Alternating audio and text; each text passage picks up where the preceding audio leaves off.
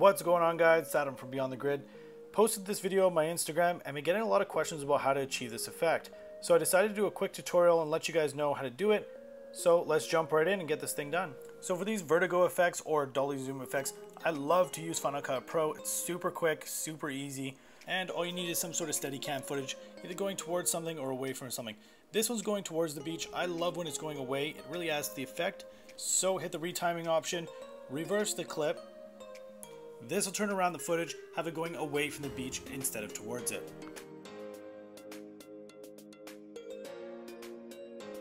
Click add a keyframe. Scale it up to 160. For this one, I like the 160. You can scale it to anything you like. And there you have it, the dolly zoom. But it doesn't have that same effect as the one in the beginning. So let's speed her up, hit the retiming key, and let's double the speed.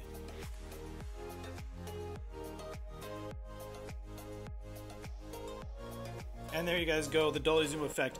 Took a minute to achieve and it looks good. Just to add another quick effect, I like to kick it up an extra little bit. So make sure you guys have your effects open with your MLUT, add an adjustment layer, throw the MLUT on the top of it,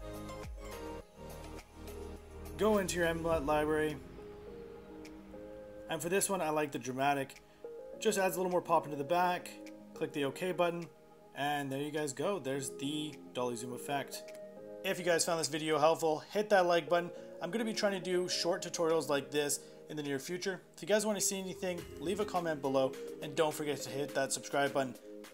Take care and we'll see you guys in the next video.